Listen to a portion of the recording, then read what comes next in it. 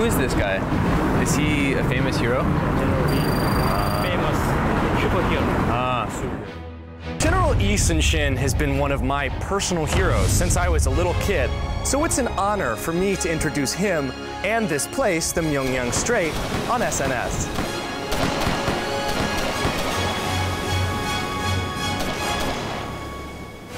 General Yi thought to use the fast-moving current to destroy the Japanese Navy.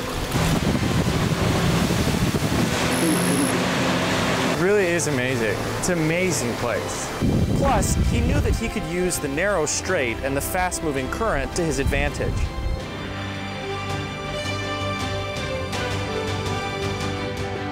General Yi knew he was outnumbered. He had 13 ships, while the Japanese had over 130.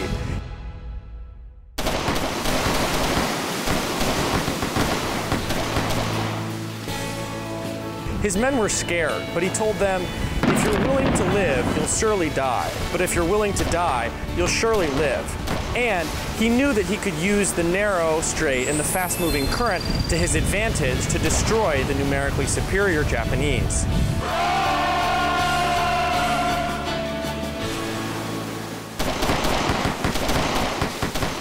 I've gained even more admiration for Admiral E through this journey, and I've learned some valuable lessons.